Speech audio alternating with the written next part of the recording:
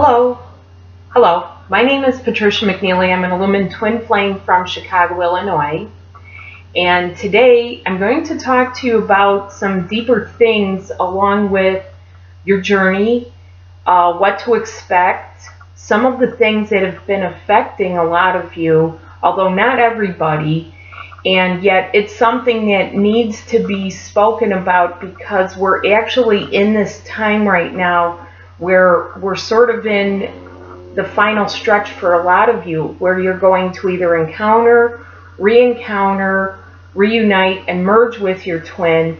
And this is to address some of the shadowy aspects of some of what you might be feeling and maybe some physical sensations, aches, and pains that you really can't account for. So what I'm going to uh, talk about first are uh, twin flames, the agreement. Now, when at our first inception, we we had everything within, and yet we weren't actually uh, fully formed, so to speak. We hadn't, you know, uh, spread our wings, stretched our legs, tried out environments. And this is something that a lot of us wish to do. We wish to experience creations while in a form. Uh, because think about it, if you're flying around in your spirit form, how are you going to experience snow or a snowball fight or skiing or something like that? So a lot of us did wish to. And in order to do that, uh, we had an agreement because we were leaving our home. We were leaving source, where we originate from. And this is the agreement. The agreement was to go, to be, in other words, to be the angelic selves that we are, to explore. We had full reign to explore anything and everything. Touch it, taste it, poke it, uh, lick it, anything. We had an agreement to be moderate. Whoops, a lot of us weren't all that moderate down the line. We had an agreement to love. And the agreement to love was to love anything love animals, love foods, love each other. This is where the agreement to love soulmates was uh, part of a, a, special agreement. And yet, this was uh, separate from your agreement to love your twin. Have many of you had lives with your twin? Oh, yes, many of you have had wonderful, happy lives. And you've had wonderful, happy lives with soulmates because you managed to find the light and the love within those soulmates. We also had an agreement to become again our angelic selves and to be the love. And for many of us, the agreement is to go home or to go home to some of our home spots. Uh, favorite places that we've learned to love or really felt and resonated with. It could be a geographical location. It could be some other planetary system that you really feel that you originate from and that that is your spiritual home. So some of what I'm going to say uh, to some people is going to absolutely resonate. If you haven't delved in really deeply and had a lot of experiences and had some karmic experiences to balance and uh, get rid of, some of this is going to sound like science fiction or fantasy or something like that.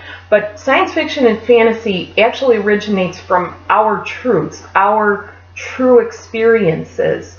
And yes, it can take on a proportion just like anybody's fishing story. People that go fishing and then the fish gets bigger and bigger and bigger and bigger.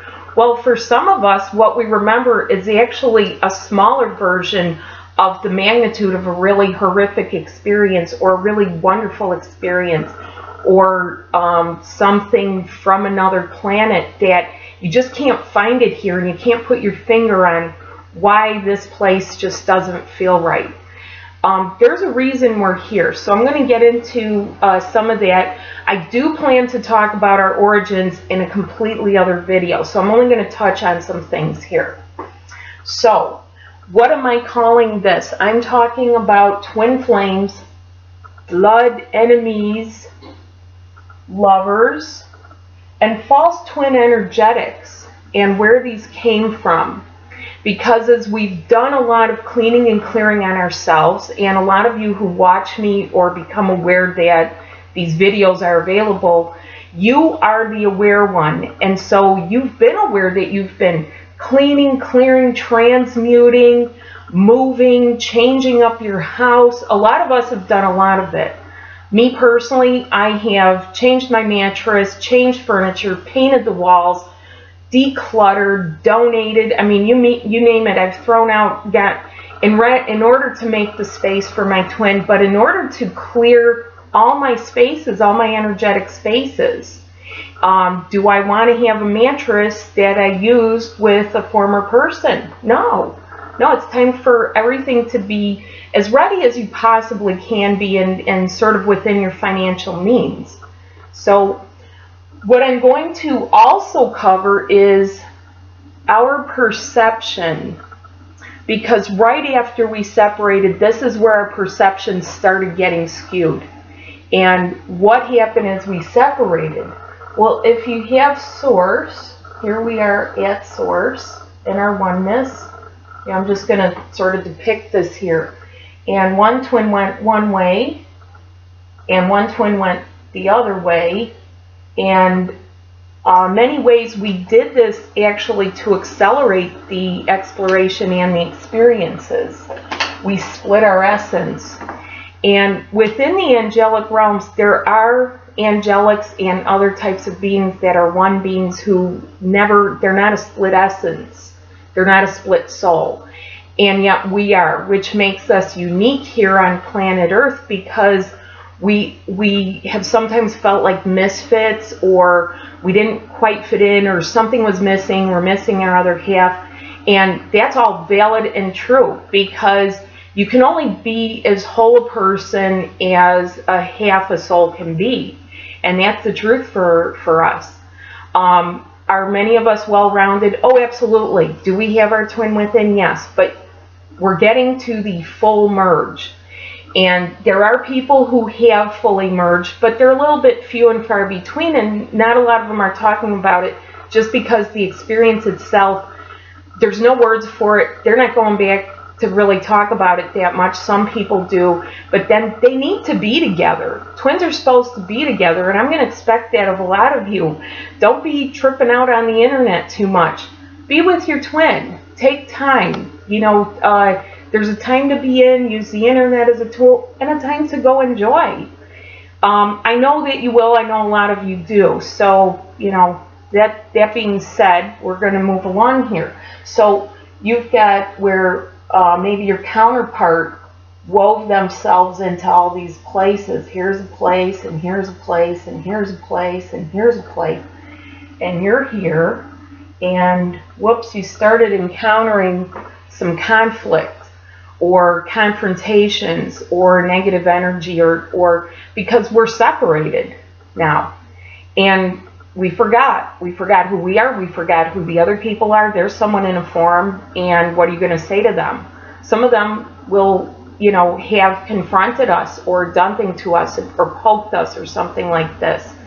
Or worse, trauma, abuse, you name it. It's been perpetrated on us, and we've perpetrated it as well. Um, that is the karma. So this is your universal spot and this is the time now where you're resolving all karma. These are original agreements, original high level spiritual agreements with your immediate family, with uh, the soulmate, with a boyfriend, girlfriend, spouse that uh, you or your twin is involved with or married to. So the awareness is there that something's finished, something is maybe even expired and past the point of expiration, and you need to do something.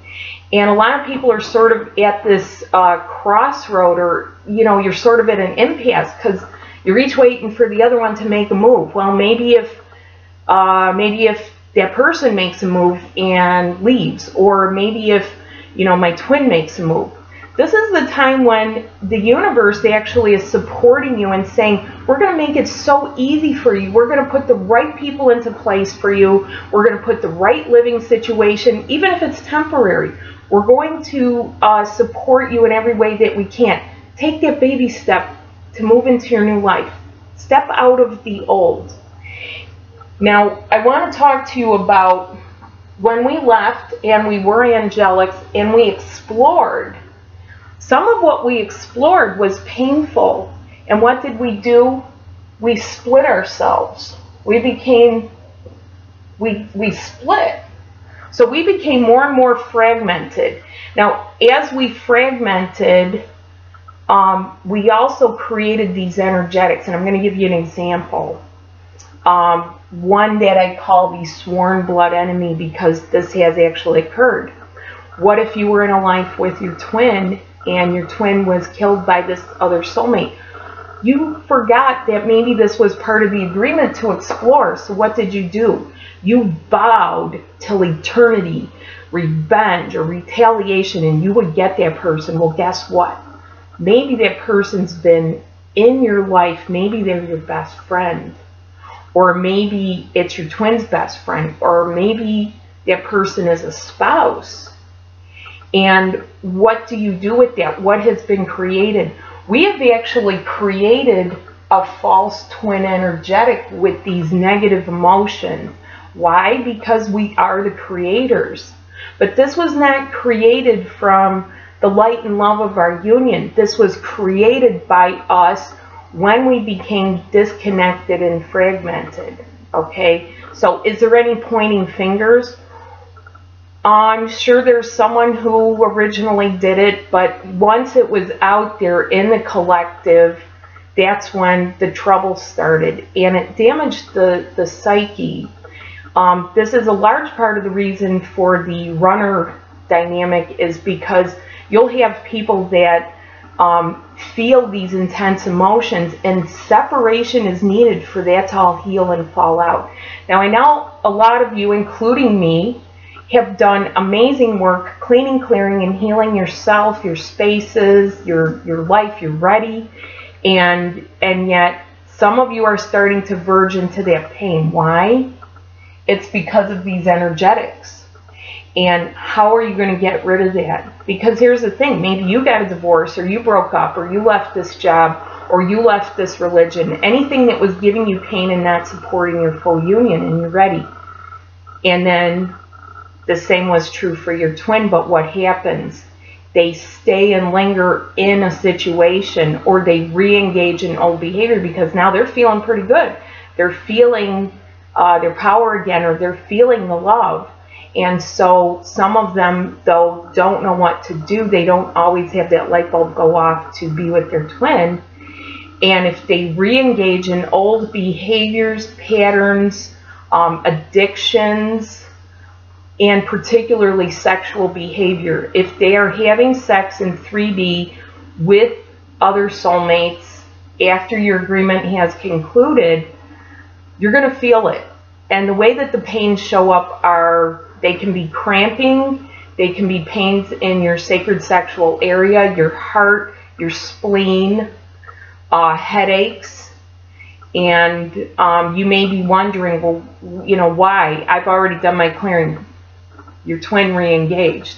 And a lot of you are aware of this. A lot of you are aware that the twin is still doing things. Why are they still doing it? Why are, you know, why? What's going to happen? How can I fix this?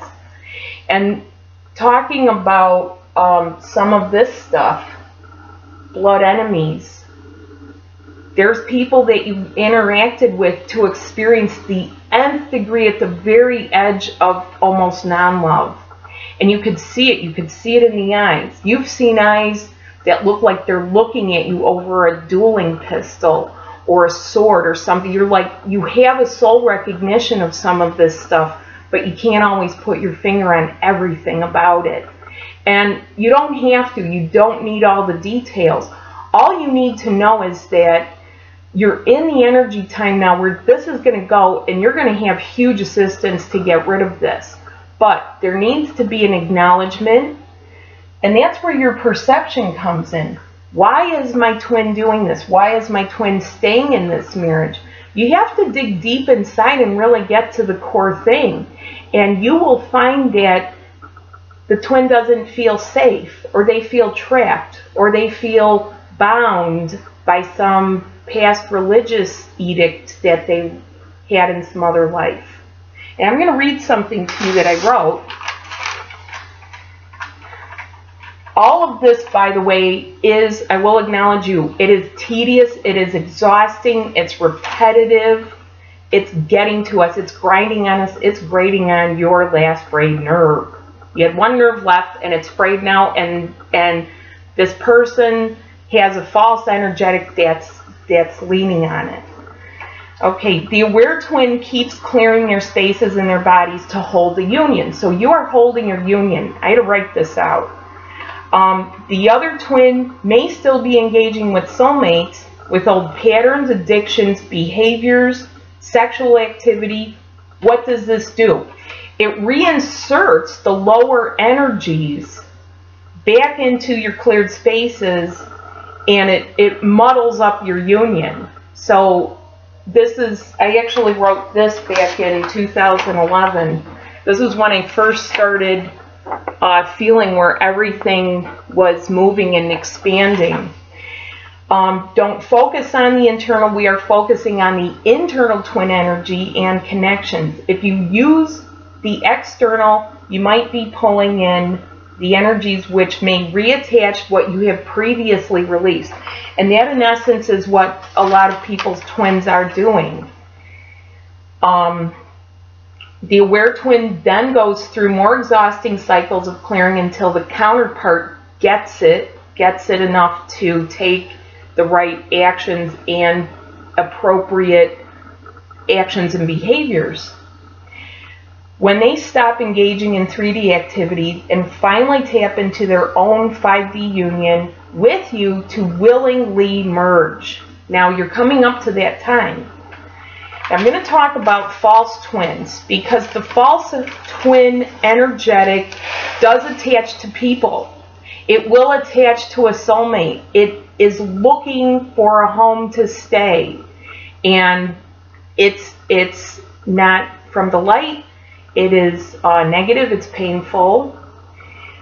The false twins will intentionally grip harder onto your counterpart they feed off of your union and they will mold yourself around their twin. How do they mold their self? It's actually in the chakras, which is why you might feel it in your spleen, in your uterus, in your testicles, in your uh, ovaries, in your um, uh, the um, heart area. You might feel a, a chest pain or a breast pain or something on your head. It might feel like something's uh, a friend of mine described it as having a, a, wet dish rag on her head at all times, sort of obscuring her eye. And there's a lot of other insidious things that happen with it. This is an insidious energy. And it's not enough to say, you know, go out and be healed.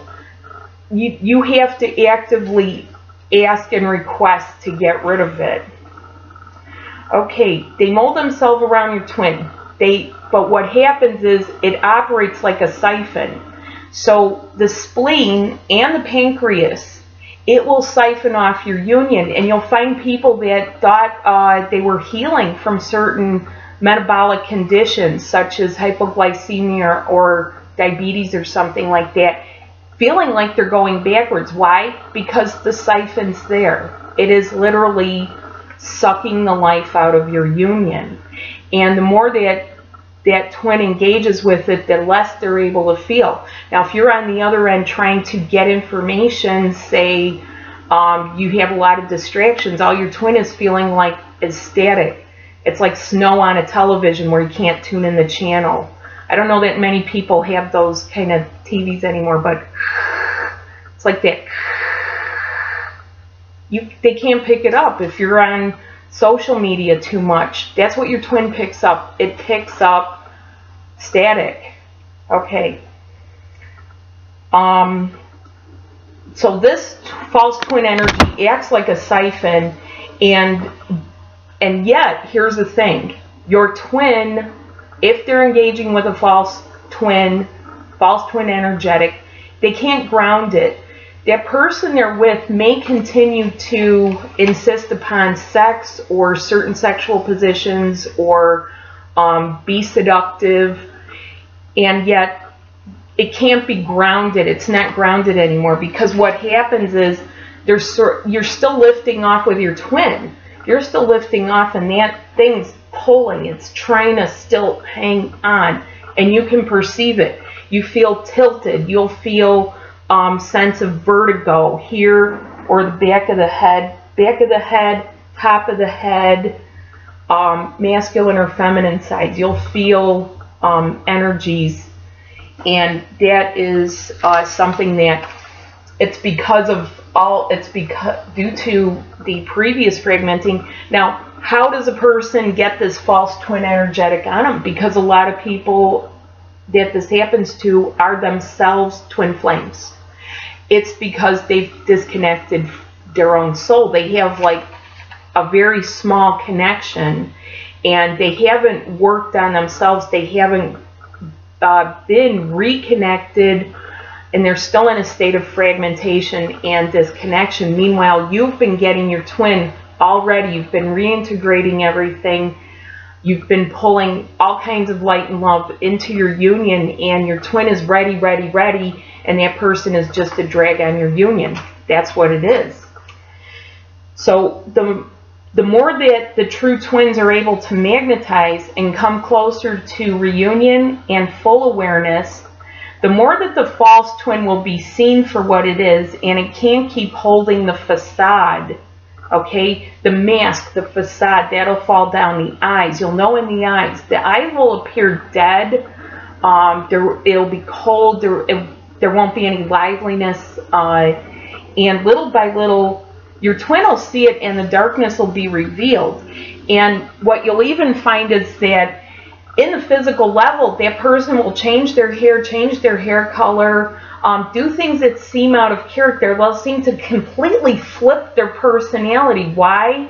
Because that energy is, is pushing them to mold themselves to be the twin, look like the twin. So it gets a little tricky, and yet Keep focusing on your beloved. Keep pulling them into your heart. That's what you do. That's what you do. You can also call upon that person that you perceive is having an influence on your twin and we're not dealing any anymore over here at this level with a physical confrontation. You're not going to that person and, and risking yourself risk, risking your precious angelic body into something. You do this at an energetic level where you call the higher self of that person and you say, get off my union, however you do it, however nicely and kindly or firmly you want to do it. Get off my union. You have a dark energetic on you. Go get that off of you. Get away from my union and get off of us. Get out. Get out of my union. Everything is concluded. It's expired and, and that's it. Now, you and your twin are the only ones who have the keys to each other. You have the keys to each other, not a soulmate. I don't care how lovely that soulmate feels. And um, a lot of us have had soulmates that feel great. Sometimes they have felt like the only thing that feels like anything. You know, you feel the love. They were there as a reminder. It's important to discern. Is this a loving soulmate relationship, a true friendship that was formed at the feet of God? Or is this a friend, because we're all friends back home, is this a friend who has become a blood enemy or is carrying a false twin energetic? Because this does exist. It sounds like a fiction story or a romance novel or a fantasy thing. Where did all that come from? It came from our stories. We have stories and stories and stories. Now, you know, this is the mirror. There's the mirror. And so what do you do? Your your twin is there and you have to reflect this to your twin. You have to say it to your twin. This is not our union. It is time to go. Your twin is within. You talk in your heart. And I'm going to tell you something. A lot of the people I speak to are females. The majority of uh, it seems to flop into two areas for masculine and feminine, and yet it's getting closer and closer together. I received this last week or last year, right around this time, the Great Restoration. And what it says on the back is, you're valuable, you're unique, You are worth restoring. And it says, why do people go to the trouble of restoring a classic car? Something of great value isn't thrown away. Don't throw away your twin. Don't let anyone talk you out of it. Don't you yourself talk yourself out of it and say, whoa, my biological clock is ticking. They are being restored. They are being restored, and this is the last fell swoop for you to come together and do the merge. Do what you can at the other level and be ready in the physical. So I'm going to talk just a little bit more here about where we've been. This is just a little um, slight history lesson. Not everyone has been to these places. I have been, so it's my personal experience I'm speaking of. We've been to places like Andromeda Sirius. We've lived there. We've brought our flamey energy there. And we've been in the Pleiades and uh, Jupiter, which the Pleiades and Jupiter are predominantly matriarchal feminine energies. Divine feminine, Andromeda and Sirius have gotten predominantly uh, patriarchal. We've brought these energetics here. We've um, been we've been in transit planning to meet up here. And so we've met our counterparts here, and you have these dualistic experiences that we're collapsing here. So this is Earth, this is our fourth dimensional twin flame meeting point, ready to take it into 5D. So you are actually fifth dimensional entities of light and love with the brand new blueprint, the template of new relationship. You are 5D entities with 5D template, fifth dimensional, living at a fourth dimensional level. All of those old agreements are done. They're part of the old 3D. We've left that space. The duality and dynamics that we have been in this incarnate life. This is your last incarnate life for many of you. You can choose to do another life. It's a choice. Why reincarnate? That's what I would say. Why? Why do you want to come back here for more of this stuff? Or do you want to move on? Think about it. No, don't think. Feel about it. Feel it. Okay. Duality and dynamics that we have been in this last incarnate life are a full circle of where we have done the most repeated soul damage. And with the created non-light energetics, um, loving our soulmates. So the special dispensation was actually to be with soulmates, love them, experience things, experience the depth. We love our soulmates. They're in our heart. It's time to get them out. It's time to, for your full merged union to come to you. And yes, it's being brought to you. We're being brought together. It is to, why did we do this? Because we wanted a brand new template so that we could we could be together and be safe. Okay? We wished it. We wished to have form. So we created it and we went ahead and did it. We improved it. We transmuted any of this stuff. It's been transmuted. We're sending back the perfected stuff to these places. A lot of it has been perfected, and we're perfecting it even more here. This is where we are fully resurrecting ourselves all the way back to source. Our full light bodies.